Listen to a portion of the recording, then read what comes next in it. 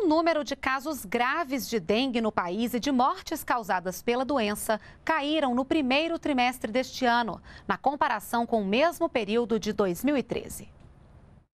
Em relação às mortes causadas pela dengue, a queda foi de 87%. Já em relação aos casos graves da doença, a redução chegou a 80% na comparação com o mesmo período do ano passado.